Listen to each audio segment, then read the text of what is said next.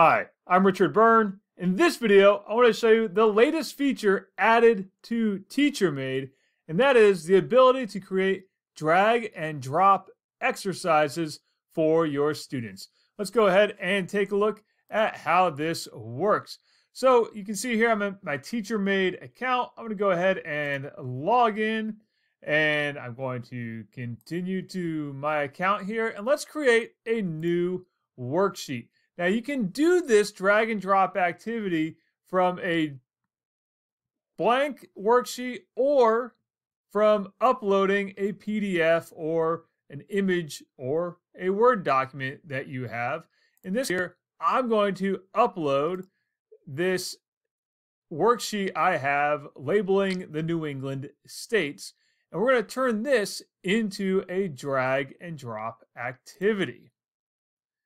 And so here it is in the editor. And let's first of all give it a name.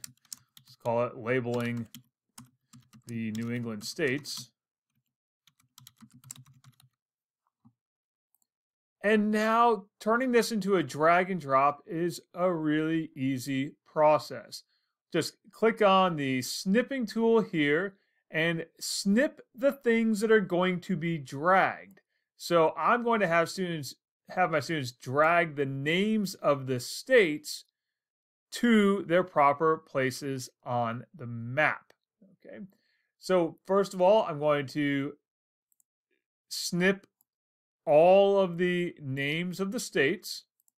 You'll see I'm going to do that six times, once for each state. And you can see I'm just using that little scissors tool there is a keyboard shortcut you can use of hitting Control D or your spacebar, but I'm going to just use the snipping tool there. Now that I've done that, I'm going to create these drop zones by clicking on that little flag icon. And here I'm going to create a drop zone for Maine. And I'm going to create one for Vermont by doing the same thing. And I'll create one for New Hampshire by doing that. And I'll create one for Massachusetts. And I'll make one for Connecticut. And last but not least is Rhode Island. And so we'll make a drop zone for Rhode Island. Now the last step of this is to match these up.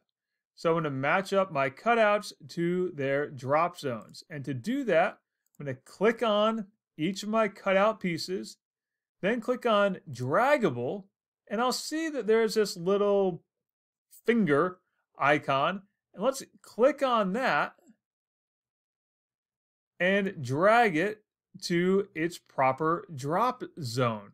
And you can see there, I can change the point value for this. Let's give them five points for each one of these. And so let's do that again. For Vermont, we're to go ahead and click on draggable. And to drag that to Vermont. And again, I'll give it five points. And let's repeat that process. Let's go ahead and hit New Hampshire, draggable, drag that down to New Hampshire, and there it is. And again, make that one five points. Let's do Massachusetts the exact same way. We're going to go ahead and hit that draggable button and drag it there to Massachusetts. Make it five points. And I think by now you get the idea. So let's hit Rhode Island. Let's make that draggable. Let's drag it down to Rhode Island. Let's make it, let's make Rhode Island worth 10 points. What the heck? Let's make, mix it up. Put a little more weight on the smallest state in New England. And let's go ahead here and hit Connecticut. Make that draggable. And we'll put that right there. So I'll now make that one worth five points. So I now have a 35 point assessment.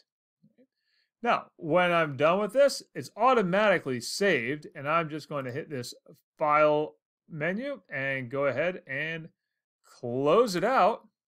And when I do so, I can now create an assignment, and I'm going to call it labeling the New England States assignment.